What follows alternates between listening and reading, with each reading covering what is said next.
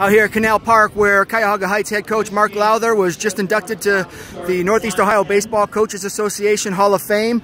Collected a couple other pieces of hardware, uh, Coach of the Year for Division 4 and a 300 uh, wins for his career. Coach, what does all that mean to you?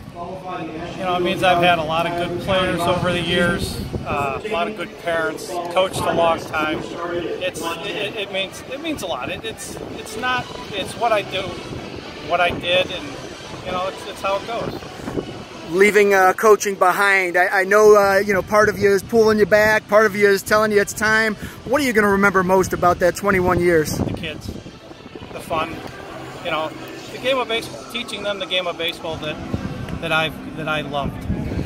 You've been around it a long time, and uh, you're certainly not going to get away from the game. I know you're going to follow your two sons, uh, you know, one in college, that's, one playing professional baseball. That's, that's the plan. That's what I told the kids at the end. I said, I've been doing this a long time.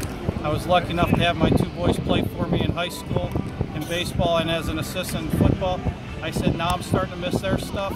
It's time to time to follow my kids. And lastly, what kind of advice do you have, not only for your replacement at Cuyahoga Heights, but coaches all over the place? teach the kids the right way to play the game of baseball. Outstanding. Thanks and congratulations on a great career.